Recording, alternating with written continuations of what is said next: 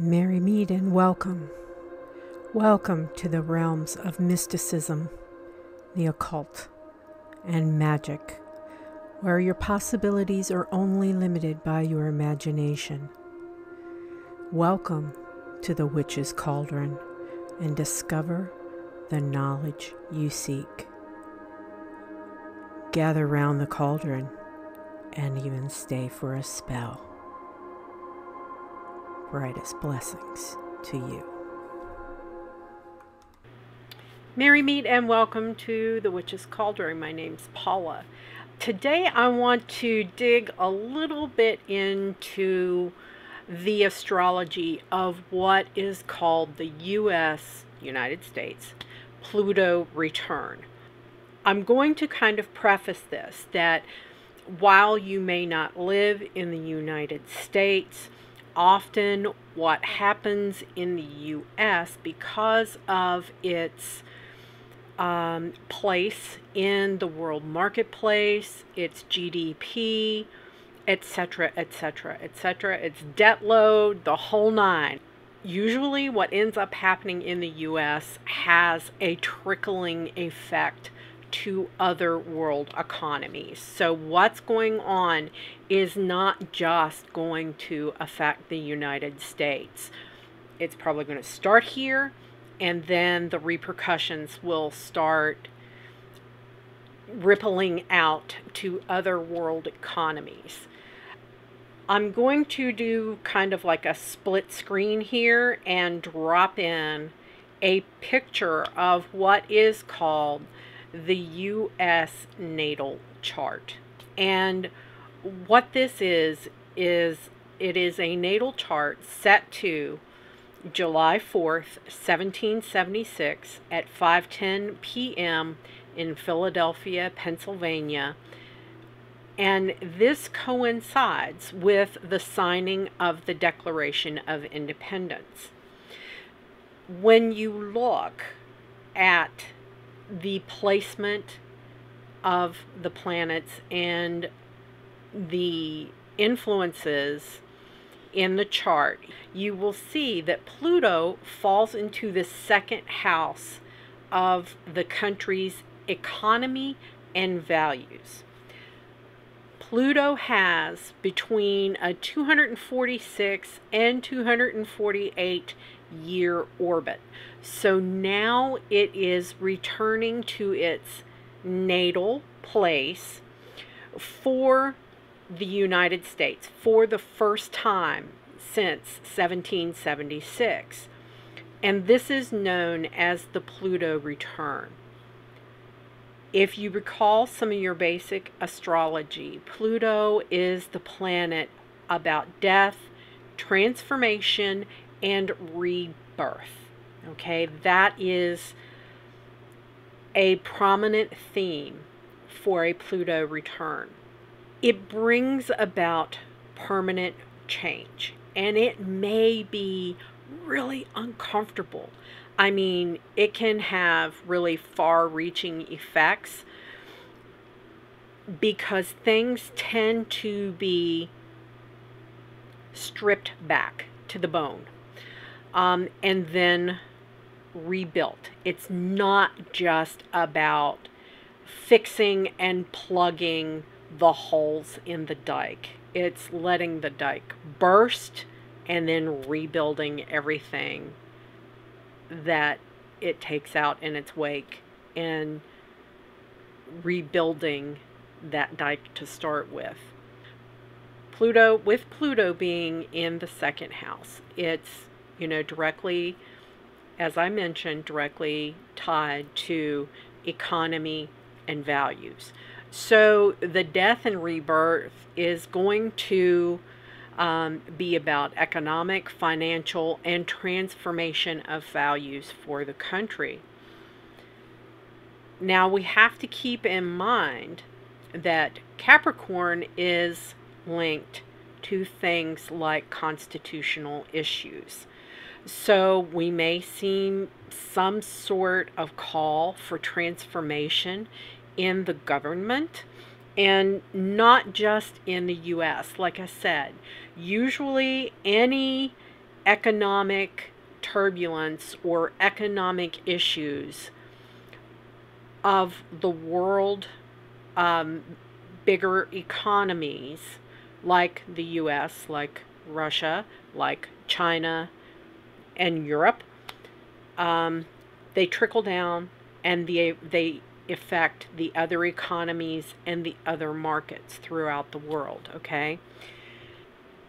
To put it in a little bit more perspective, remember that the U.S.'s Declaration of Independence that was signed in 1776 was its statement of British colonists breaking away from England, breaking away from King George, and pushing and fighting back on the taxes that were levied on the colonists because uh, Britain incurred great debt um, defending colonists and sending troops here during the French American uh, War.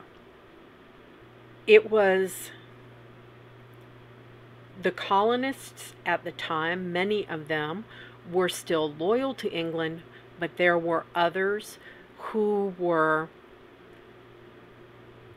who felt that they had no representation. We had no seat in Parliament. Um, and so there, the big push was the taxation without representation because um, the colonies were not represented when these tax levies, like the tea tax, the stamp tax, et cetera, et cetera, et cetera, were levied by um, Britain to um, recoup what they had spent sending troops to the U.S. In the Declaration of Independence, you there is a statement about freedom and independence from the old country or from England. And it stated that all men are created equal. They have their rights given by God, and those rights are for life, liberty, and the pursuit of happiness. There are many astrologers who believe that this theme of taxes, debt, controlling government that doesn't represent the will of the people, freedom, equality, and they're going to emerge again as we go through the Pluto return in the United States. I, I personally, as a um, American citizen know that what is often reported by the mass media is not accurately reflecting what many Americans are feeling. A lot of us are pushing back um, against reforms and things that we find offensive. So I have a feeling, I have been saying this in my little sphere of influence with my friends, that uh, for probably about the last five or six years, that I will not be surprised if there is not some type of civil war again uh, in the United States, if there are not states who will file to secede from the Union again. Um, there is a lot of talk. Um, some states have taken some first steps to actually get their state legislators to get things like secession on their books. I don't know what this will mean. I don't know what it will be called. I also think that there could be states like where I live in Virginia where certain areas may secede. Um, in Virginia, for instance, where I live, um, the preponderance of the population is in three areas Northern Virginia, City of Richmond and its surrounding counties, and Richmond, um, Hampton, Virginia Beach. If, how can I put it? If a party can focus though their efforts in those three markets, they can win an election because there's more population in those three areas than there is in the rest of the state. And if they win those markets by landslide, they don't have to campaign anywhere else in the state. And the other, you know, by landmass, 70% of the state is left out in the cold because the population is located in three separate areas. I would not be surprised if um, counties in Virginia secede again, like they did in 1861, um, when Westford, the counties that now comprise West Virginia, seceded from Virginia. I would not be surprised if that does not occur again. We also need to remember that influence of Jupiter and Saturn in Aquarius. And this is, you know, the power of the people freedom versus control, the old versus the new. It's pushing back against the establishment. Pluto is direct and it moved direct, started moving direct. It went out of retrograde and started moving direct on the 6th of October. Pluto will become exactly conjunct natal US Pluto on the 20th of February 2022. But it's going to be hovering there for all of 2022 and 2023. I know that it's going to take, it's going to be painful again. I think it's going to take a lot of reconstruction. I think the economy will never be the same.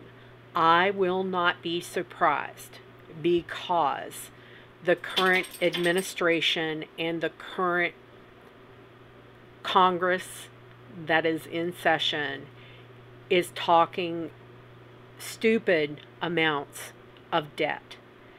And I will not be surprised if the world goes away from the US dollar as the standard. And it could go back to a gold standard.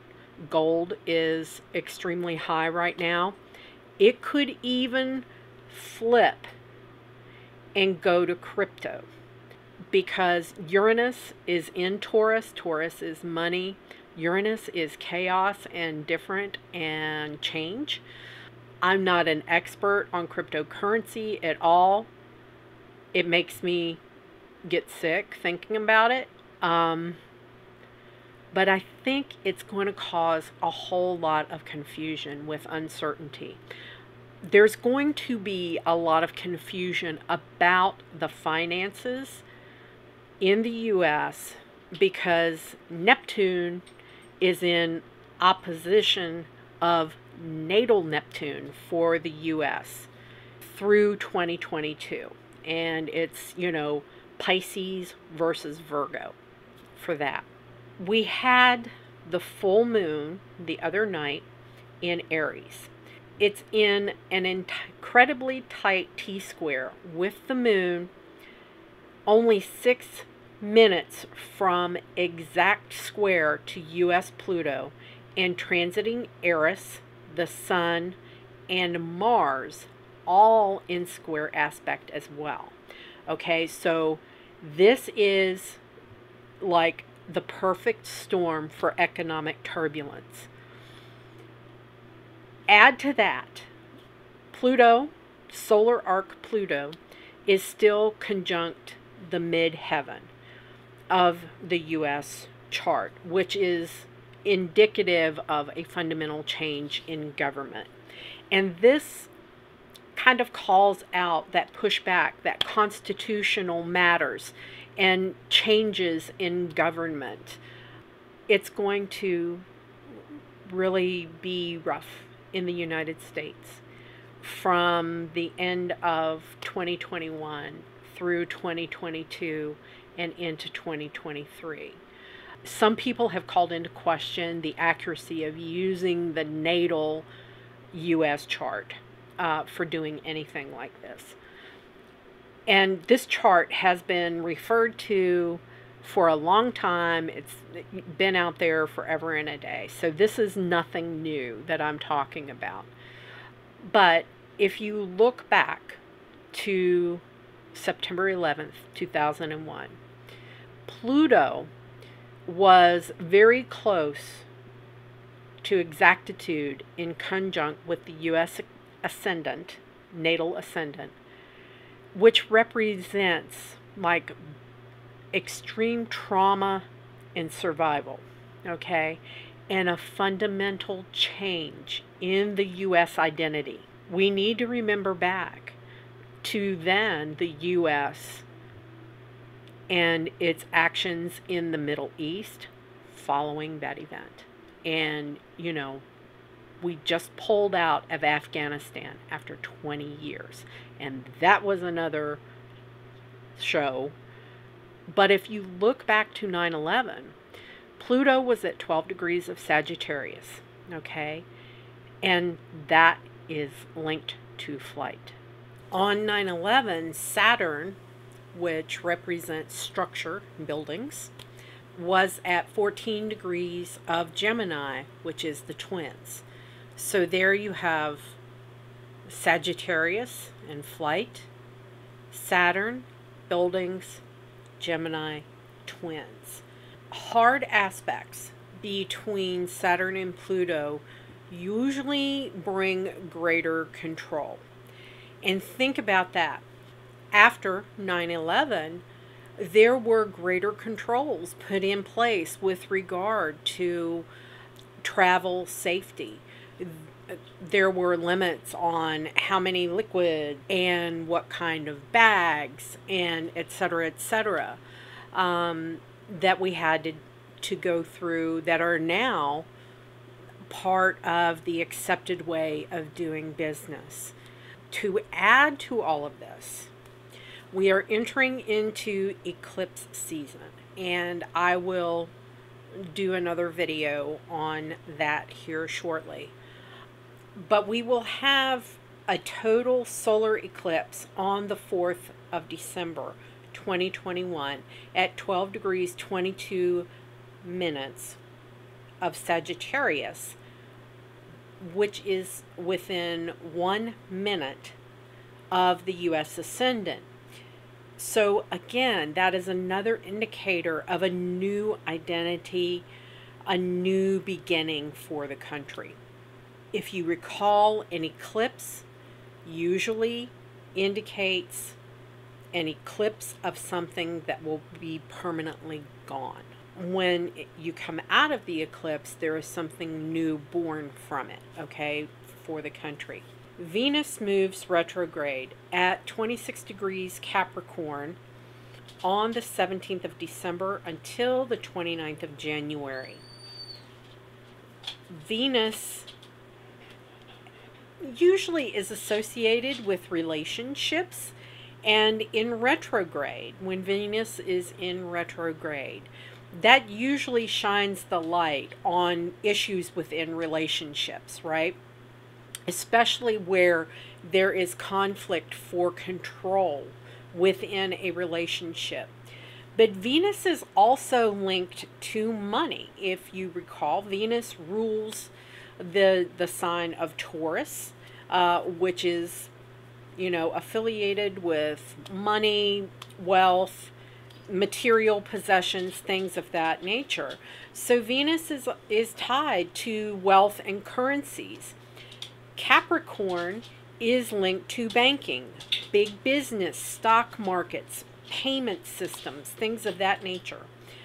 On December 25th, Venus retrograde will be exactly conjunct Pluto at 25 degrees 43 minutes of Capricorn, which is within uh, 2 degrees of the natal U.S. Pluto. It's also the third and final square between Saturn and Uranus occurs on Christmas Eve, the 24th, the day before, which is another indicator of economic turbulence, the old versus the new, structure versus freedoms. Venus will be conjunct Pluto for like three weeks and that will run from the 11th of December to the 2nd of January 2022. Venus will also be in Capricorn, which is one of the, you know, the the serious signs, right? Capricorn, all serious. Venus will be there for all of January and February. Venus will be moving direct in late January. She will then be conjunct and catch up with Pluto again on the 3rd of March at 27 degrees of Capricorn, with Mars exactly at that same degree. This is again another one of those indicators of new economic or financial systems being um, developed and then coming more and being more visible and more in place uh, in early March 2022. Now remember, if you listen to my last video, I mentioned Haumea. Through this time, Haumea is tightly opposing both transiting and U.S. Pluto, which then further highlights that giving birth uh, to the new earth, that creation of the new the new earth order, okay? I mentioned in my last video, if you have planets and angles in degrees around 25 to 27 degrees of any of the cardinal signs, that's Aries, Cancer, Libra, or Capricorn, you are going to be feeling that need to transform and ascend in your life, okay? So, with that, I am just, you know, little Miss Polly Sunshine with all of this. Um, you might, well, might as well just call me the Princess of Darkness and Doom, I reckon. Uh, so with that, my friends, I hope you enjoyed the video. Um, if you can, uh, start socking away a little bit of extra cash if you possibly can afford to do it to put it to the side in case of an emergency or a collapse where your funds might not be available. Um, you might want to think about buying gold or silver or some of the precious metals um, as, you know, a backup to U.S. currency. So if you're in the United States. So with that, my friends, if you like the video, please give it a thumbs up and leave me a comment down below. Uh, what do you think about the U.S. natal return of Pluto? And as I always say, merry we did meet, merry we will part until we merry meet again. Be well and walk in love and light, everybody. Bye.